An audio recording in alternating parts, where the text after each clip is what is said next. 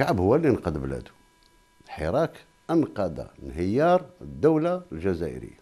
كانت فيه انزلاقات لحكم فردي وتم تمديد مأساة سياسية عاشتها الجزائر. الحراك هو اللي وقفها. آه، بخصوص الجزائريين الذين لا يزالون يعودون آه، إلى الشارع إلى آه، غاية الآن. ماذا تقولون لهم؟ ذاك حقهم.